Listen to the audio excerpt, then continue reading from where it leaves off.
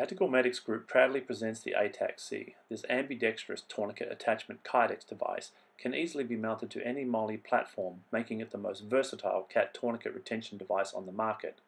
The no gimmicks, no frills ATAK-C patent pending design can allow you to rapidly deploy a CAT tourniquet to an upper limb in as little as 5 seconds with either hand.